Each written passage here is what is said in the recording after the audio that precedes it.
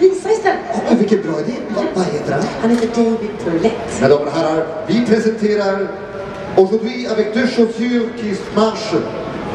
David Burlett.